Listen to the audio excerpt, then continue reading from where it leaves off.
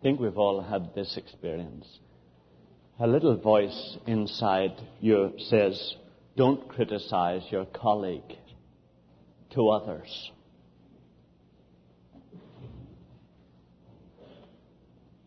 But the comment slips out before you can barely do anything about it. He's not very consistent, is he? The little voice is activated by the Spirit of our Creator. And our Creator is really saying, don't you try to put others right by your criticism. My Spirit has the specific task of convicting the world of sin. He will do it. You just keep quiet. But we, of course, reject that voice and we decide, no, we'll put them right. And the way we do it is we criticize them behind the hand to somebody else. Now, that's sin. That's sin. That is sin. That's trying to do something that God wants to do, but you take it over and you do it yourself. And you do it without His power or without His strength.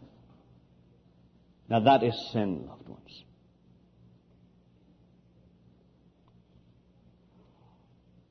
Or you've had a, just a wretched day. It's just been a constant strain in that office just been a grind the whole day at work. And beyond that, you're beginning to get anxious about the finances. And you come home and you're just worn out. And you reach for the martini, or you reach for the tranquilizer, or you reach for the cigarette. And a little voice within you says, I have power to give you peace and quiet at this moment if you'll just stop doing what you're doing and look to me. And that little voice even says, you're not solving the problem, you're only trying to suppress the symptoms of a wrong attitude to the problem that is in you.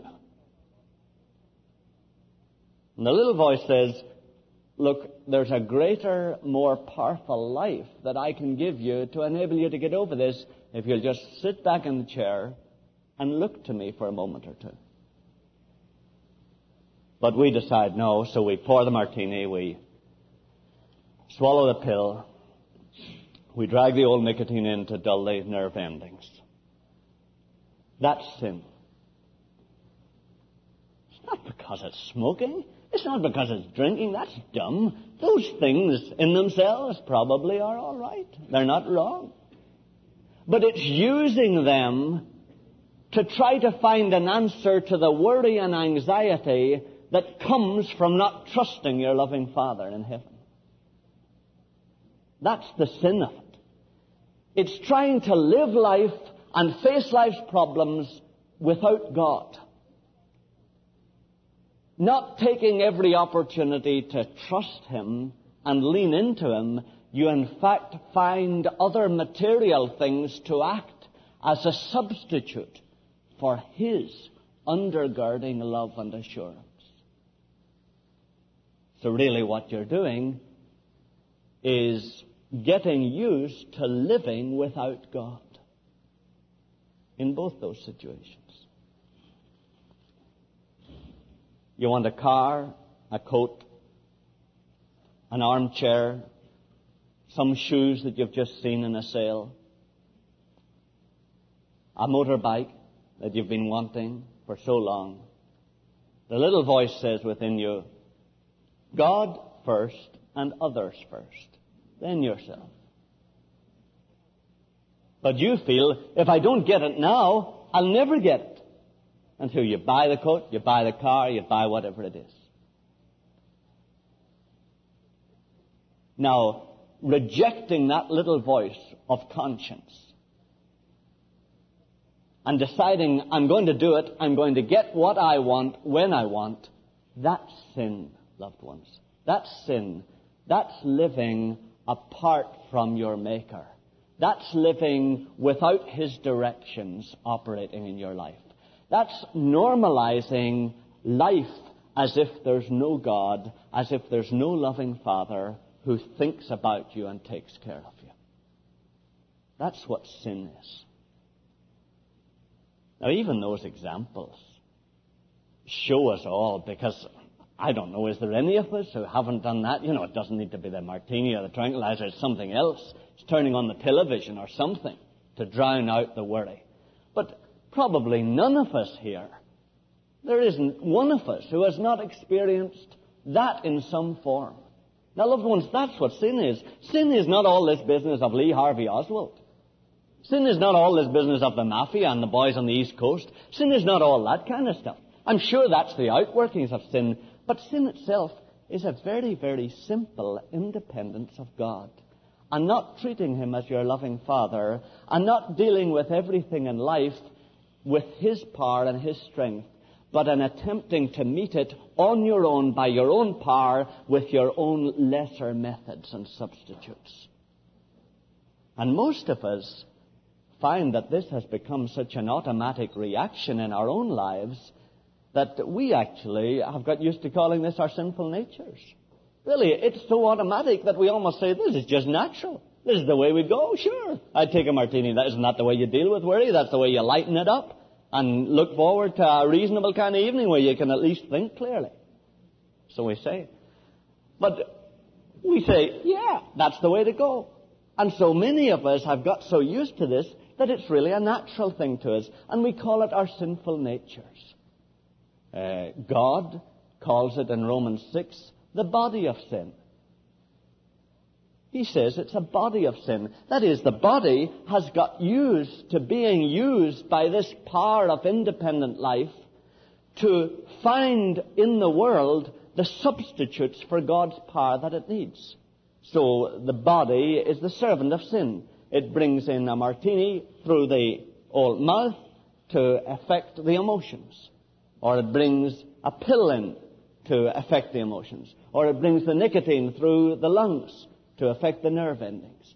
But the body is being used by this independent life that wants to exist apart from God and without God's help. And this has become so automatic in many of us that we really just call it the sinful nature. It is actually a dreadful perversion that has taken place in our personalities. Our personalities have got used to operating this way that they cannot work any other way.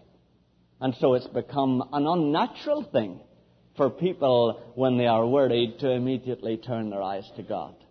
It's become the natural thing to turn to something that will dull the worry. It's become the unnatural thing for people when they're in financial troubles to turn up to the Father and hand the whole thing over to Him. It's become the natural thing that you go to Thorp Finances or whoever else may be the uh, human answer. And so the thing has become so automatic and natural that it is a perversion in our personalities. Our personalities have become reversed. Instead of taking from God and giving to the world, we take from the world and we try to give to ourselves. And so there is this streak of perversity or irrationality that we cannot deal with.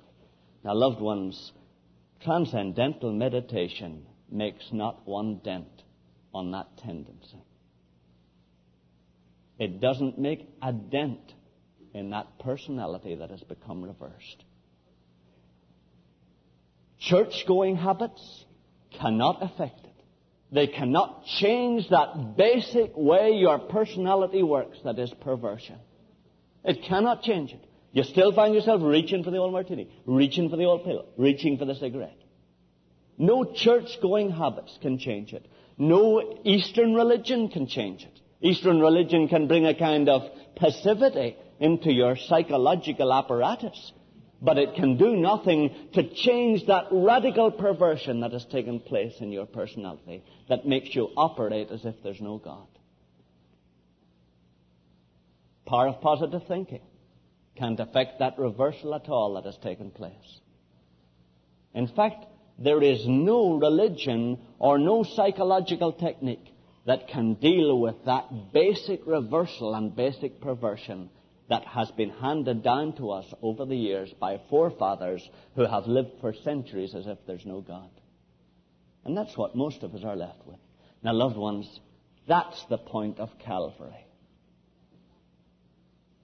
When Jesus died 1900 years ago, God included your perverted, reversed, carnal, self centered, independent personality in Him, destroyed it there, so that a new one can be created by the power of His Holy Spirit in you. And you need nothing less than that.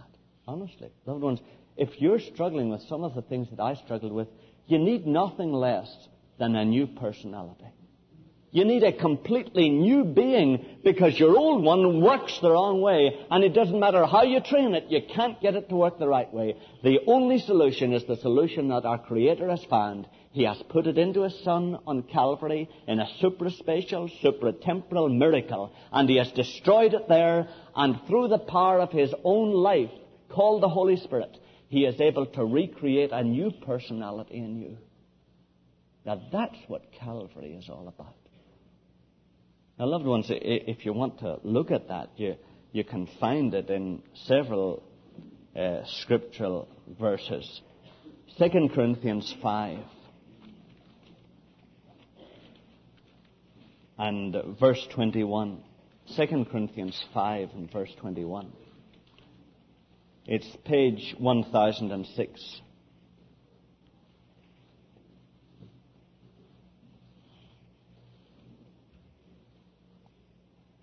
Second Corinthians 5 and verse 21. For our sake, he made him to be sin who knew no sin, so that in him we might become the righteousness of God.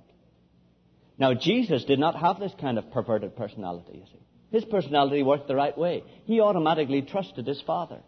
He didn't have that kind of personality. It wasn't because of his own personality that he had to die, but God made him your personality. He made, took the worst that you can do nothing to change, and he put it into his son, and he destroyed it there. That's what it means. He made him to be sin who knew no sin. So he put your personality into his son, and destroyed it there. And you see why. So that in him we might become the righteousness of God. And then verses 14 and 15 of that same chapter. For the love of Christ controls us because we are convinced that one has died for all, therefore all have died. All of us died when Jesus died. And he died for all that those who live might live no longer for themselves, but for him who for their sake died and was raised. And that's why he died, so that we'd no longer live for ourselves. Now that's what the love of Christ is, loved ones. The love of Christ is not involved in reinforcing that desire to do what we want to do that we call carnal self-confidence. That's what carnal self-confidence is. Trying to get from the world and other people what you really should be receiving from God. That's carnal self-confidence. Now, Jesus' love is not involved in reinforcing that carnal self-confidence. The love of Christ is found in that He's taking that carnal self-confidence of ours that will eventually drive us into hell and will drive us away from God completely, and He's destroying it in Himself. That's the love of Christ. The love of Christ is that He's lovingly trying to draw us onto the cross with Himself and get us to allow Him to destroy that self-confidence that wants to do with the martini, do with the aspirin, do with the cigarette, do with the television, what God Himself wants to do for us. You have a loving Father.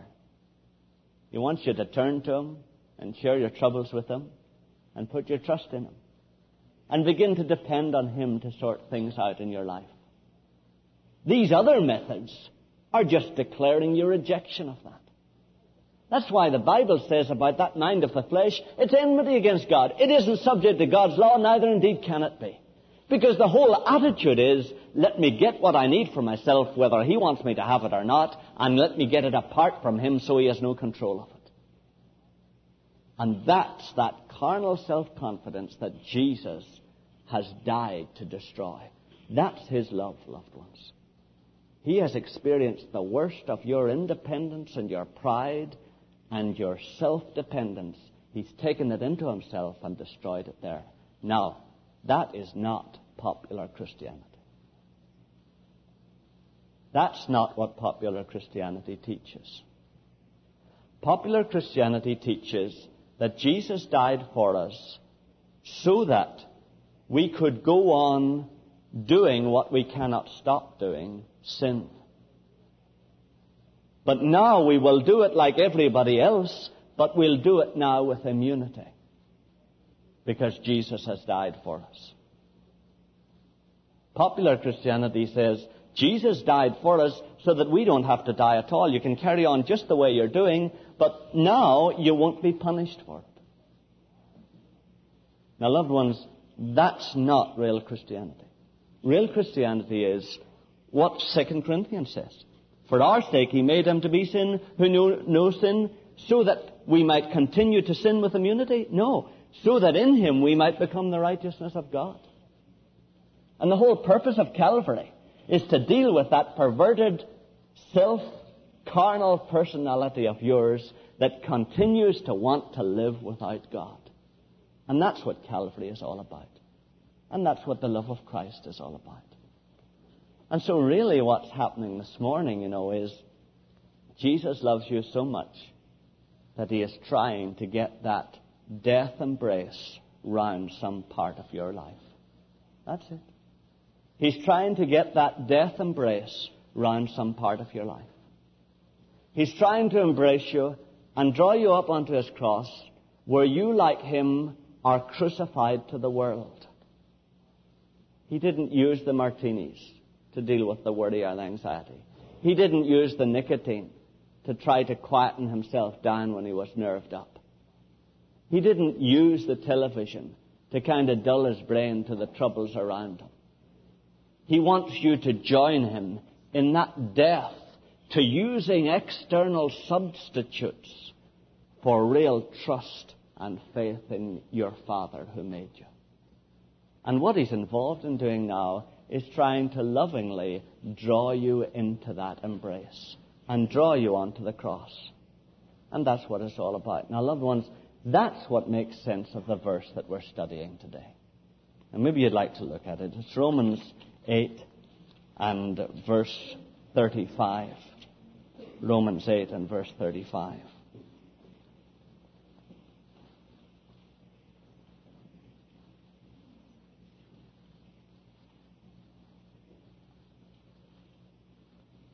Who shall separate us from the love of Christ? Shall tribulation, or distress, or persecution, or famine, or nakedness, or peril, or sword? Now, the love of Christ is Jesus trying to draw us into his own death to using the world instead of God as our Father and as the supplier of all our needs. Now, loved ones, what really happens is all these things draw us nearer to the love of Christ. They don't separate us from the love of Christ. They draw us nearer to them. Because do you see, all of these things are determined to destroy our existence. Look at it right from the last one, you see, the sword. That's death itself. Peril is, well, danger of life or danger of death. Nakedness is the exposure of our bodies, which would eventually bring death. Famine is lack of sustenance for the body, which would eventually bring death. Persecution is the persistent attempts of other people to destroy us. Distress is some difficulty that we might come into that begins to bring strain into our lives. Tribulation is the kind of pressures that we meet in this life that begin to make us less feel less adequate than we really are ourselves.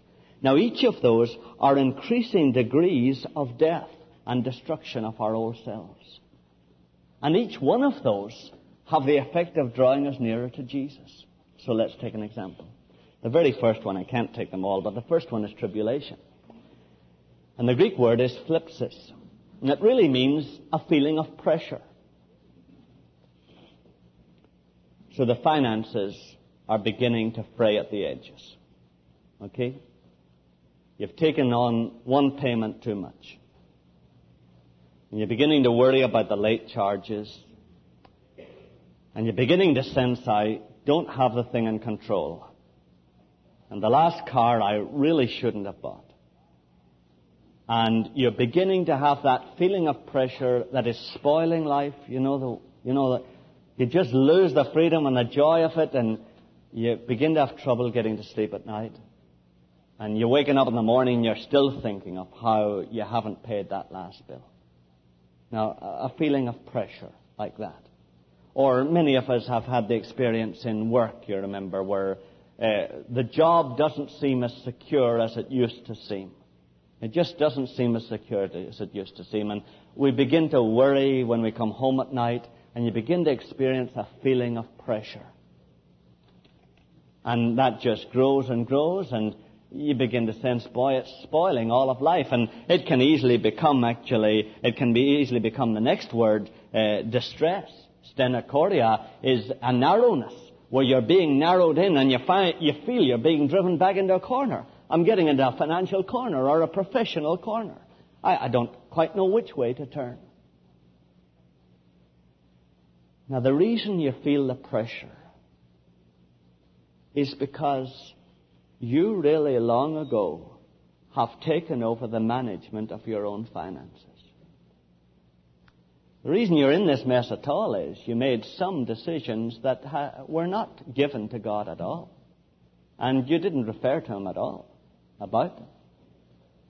But uh, whatever it is, you've begun to take the thing over yourself. And you're beginning to manage your financial life. And so when it begins to come uh, fraying at the edges, you feel it's my responsibility. I got myself into it. It's mine. And I have to do what I can to rectify it. And you know what happens in that situation. The self just intensifies. In fact, some of us have found a real almost suicidal self-destructive tendency. We, we will not sell the car. We won't sell it. We won't sell the last thing. No, it would be an admission that we're lacking in self-confidence or we're failing in competence. And we just seem to hold on all the tighter. You know, it's almost as if the car is on its way over the cliff and the further it goes, the harder we hold on to the steering wheel. Or it's the same with the job situation. We find the job is is not as secure as we thought it was. And uh, we feel it slipping out of our grasp. And what do we do? You know what we do. We intensify our efforts all the more, you know. We try, try to grow more subtle in the way we get one up on the other fellow in the office. Or we work harder, or we work longer hours. But we do everything to hold on to that thing. But loved ones, our whole response, our whole reaction shows we're going to keep these things, whatever. Whether God wants us to have them or not, I'm going to hold on to them. I'm going to hold on to them. Now, loved ones, the love of Christ is acting in every pressure situation, saying to you, My child, will you come onto the cross with me? Will you die to the financial situation? Will you die to your need for that last car or that last coat? Let it go. What does it matter? In 20 years, you won't know whether you had it or not die to your job situation. Die to your control of that job. Let me take care of the job. Let me give you the job I want. Let me let, allow you to be demoted completely till you're little more than an office boy or an office girl. Let me have my way in your life. Be prepared to join me on the cross. I became a nothing. I became a nothing. I became a criminal in everybody's eyes for you. Now join me on that cross. Will you relax and forget what everybody else thinks you should do and turn from this self managing of your life that you're engaged in and join me on the cross and die to this carnal, self confident desire to run your life apart from God by all other kinds of substitutes. Now, loved ones, in every pressure situation, whether it be tribulation or distress or whether it be people out to get you and to destroy you, your Savior is trying to use that to draw you onto His cross, to draw you out of some self managing of your life that you've begun to develop. See, all strain and all unrest and all discontent comes from you wanting something that your Father in heaven doesn't want you to have at that moment. And that you won't get. Or if you get it, it'll turn to ashes in your hands. All unrest and strain discontent comes from you wanting something that your Creator doesn't want you to have at this moment. Every time you back off from that attitude and join Jesus on the cross, there comes a sense of peace and rest and an absolute contentment. Whatever the Father has given me, that I'm happy with. That was Jesus' attitude, you remember. Judas, you remember? Whoever dips the sop with me, he's the one will betray me. Judas dipped the sop. He got up to go out. All the rest thought he was going out to do something with the money. Jesus knew, and he said, What thou doest, do quickly. Now that was Jesus' attitude. All right, if God has allowed this to happen, I cooperate with it. Thank you, Father. It's in your hands. Not come back here, Judas, and stay. But, Lord, it's in your hands. Judas is going to do what my Father is allowing him to do. I accept it. And yet, in no way was he fatalistic or pacifist. Because Jesus was very active on others' behalf and very active on God's behalf. So, loved ones, it's a dying to taking care of yourself and a coming alive to caring only for God and for other people. And that's what Jesus is trying to draw you into every time strain or tribulation comes. So far from those things separating you from the love of Christ, they actually are a method that the love of Jesus uses to bring you onto the cross. Do you doubt it? Then when were you last closest to God? When did you last feel closest to God? You know, there isn't one of us here who would not say, either when my dad died, or when I saw my job disappearing out from under me, or when the house burned down, or when my wife was going to die, or we'd all refer to some hideous disaster that was outside our control.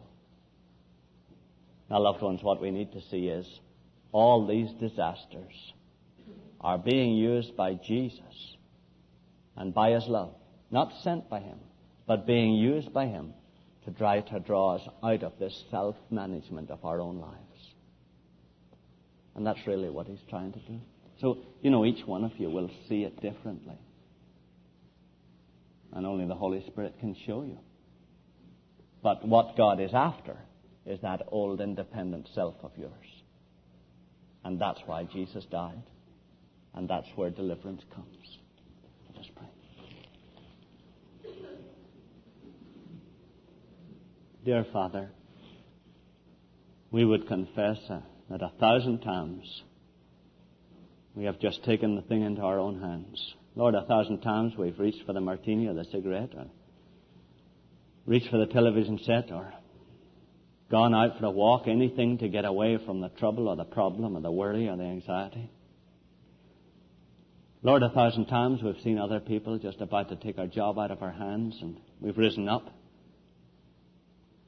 not questioning whether it was your will or not, but just determined that we weren't going to lose our end of the thing. And Lord, we see that it's completely opposed to Jesus' way. We see, Father, that it's often that self assertion that we produce that causes all the trouble in our homes. That same self assertion that creates the arguments and the disagreements with our loved ones.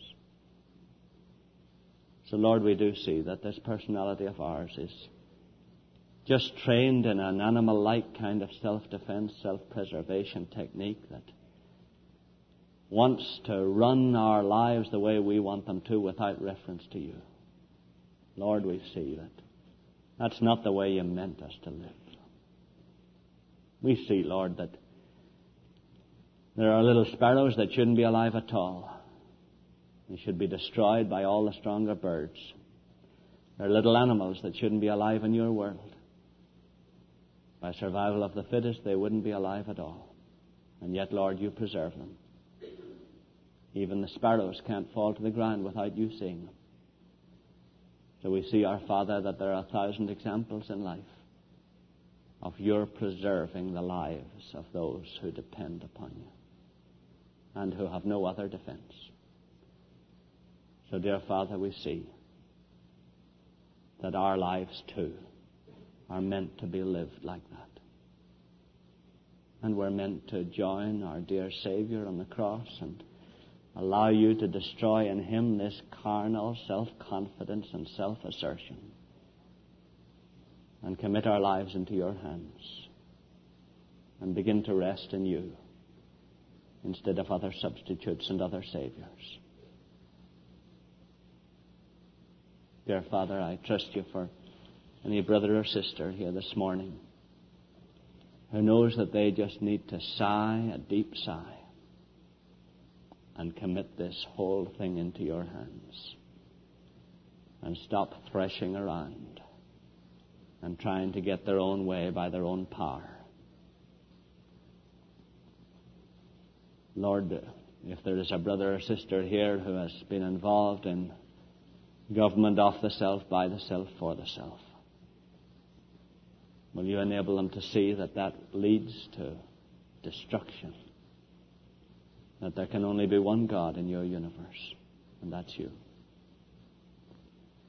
And that you have a plan for each one of our lives. And all you want us to do is let you show it to us and bring it about.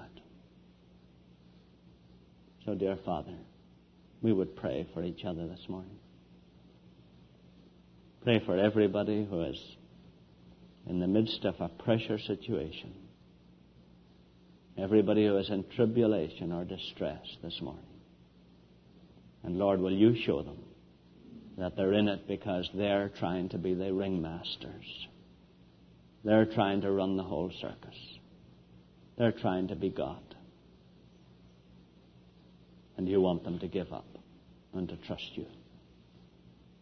I trust you, Holy Spirit, that you will express the love of Jesus to every one of us this morning as he lovingly draws us into his death embrace on the cross so that we may experience that resurrection life that treats our Creator as our Father, one who can be trusted, can be depended upon. We ask this in your name, Lord Jesus. And now the grace of our Lord Jesus and the love of God